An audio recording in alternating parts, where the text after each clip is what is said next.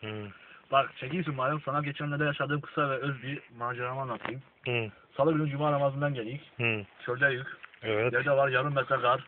Yağmur desen o biçim. Sefillik diz boyu. Neyse gidiyoruz.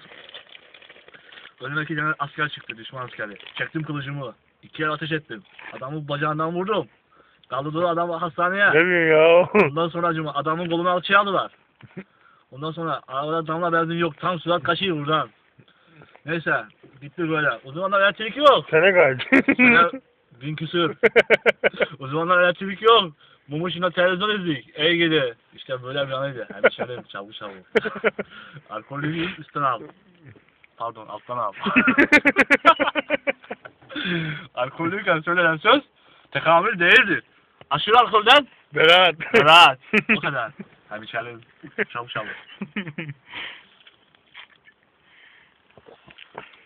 Yalnız bunun videoyu kimseye izletme. Özellikle şu olur. Birinden duyarım, görürüm, bilirsin. Benim istihbaratım çok TV, çok TV ana haber bültenlerinden daha geniştir.